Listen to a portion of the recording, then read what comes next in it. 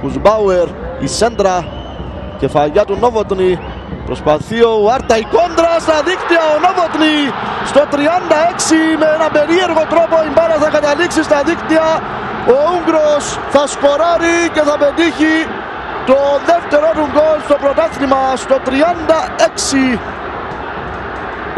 1-0 η ανόρθωση με Νόβοτνη